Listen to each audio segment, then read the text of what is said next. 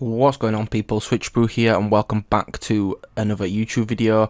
First things first, I'd like to apologise, I, I haven't uploaded a video in three weeks and that's due to being doing decorating on the house and stuff, so I haven't been able to upload, so I do apologise for that, however we're now back. So what we're going to be doing today is um, updating the Nintendo Switch to 17.0 and obviously updating the custom firmware.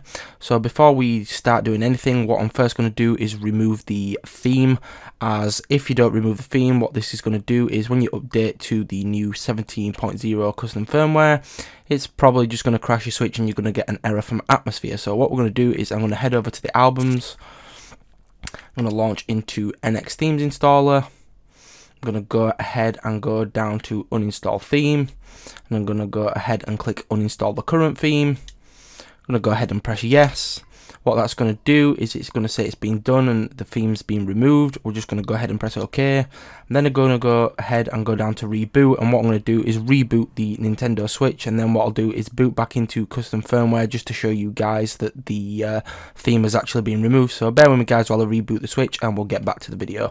So guys, as you can see, the Switch is now rebooted and we're back on the main dashboard. So as you can see, the theme has now been removed. And what else is what I'm going to show you is I'm going to go down to settings when I connect my controller. Just bear with me guys.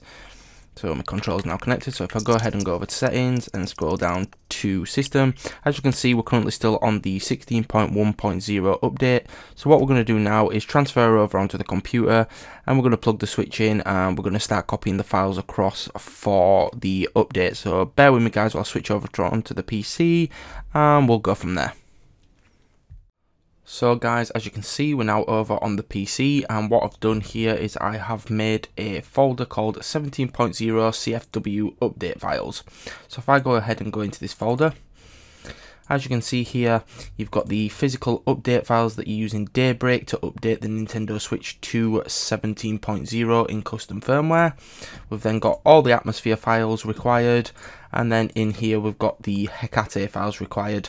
This is the uh, payload file, what you use in Tegra RCM, or if you've got a patched Nintendo Switch console with a chip in it, obviously you put the payload.bin file on the root of your SD card. So what we're going to do now is I'm going to go ahead and connect the switch to the computer. I'm going to do this by a USB-C cable and go into Hekate and use the USB tools to mount the SD card to the computer. It's up to you guys how you want to do it. You can physically take the SD card out of the switch if you want to and plug it into the PC. Like I say, it's entirely up to you entirely up to you. So what I'm going to do is pause the video, plug in my Nintendo Switch, and we'll get back to the video after.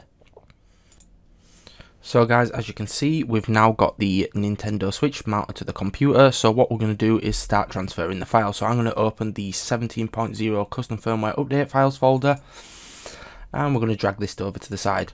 So the first things first, what we're going to do is head over to the atmosphere folder. And we're just going to grab all these files here and drag them onto the root of the SD card. It's probably going to come up for you guys you want to replace. Just go ahead and click yes, replace let it do its thing and let it copy across. Next thing I'm going to do is go back out of this folder and head over to the Hekate folder. We're going to dump the bootloader folder onto the root of the SD card. It's probably going to say this destination already exists. Go ahead and replace them. Then I want to go ahead and grab the payload.bin file or if you've got a Nintendo Switch V1 which is a unpatched console obviously this is the file that you'll use Integra RCM to boot into Hekate. So I'm just going to drag this and put it on the root of the SD card. It's going to ask me to replace it because I've obviously got the old payload.bin file so I'm just going to go ahead and click replace then I'm going to go back once again and I'm going to grab the 17.0 update files and I'm going to put these onto the root of the SD card. What we're going to do now is let this copy across and what I'm going to actually do is once it's copied across, I am going to quickly change the name just to 17.0 rather than update files um, because I'm not too sure if the Switch, when it comes to installing the update in Daybreak, will recognize it with update files on the end. So what I'm going to do is I'm just going to quickly change it to 17.0 once it's copied across. So if I go ahead and click F2 to rename, I'm going to go backspace this and just so it says 17.0, then I'm going to go ahead and click enter, and that is pretty much ready to go. just to let you guys know, all these following files, which I will provide in the video description, um, there's nothing special to them. These have just all been downloaded from the relevant GitHubs. There's no hidden secrets in these files. It's physically just from the GitHub. So yeah, what we're going to do now is go ahead and close out of this. We're pretty much ready to go. So what I'm going to do is click the arrow at the bottom right hand corner of my computer, and I'm going to go ahead and inject, uh, inject, sorry, eject the switch. What we're going to do now is head over to the Nintendo Switch console and we're going to go ahead and start updating the Switch. So bear with me guys while I switch onto my phone camera so I can show you guys through the process.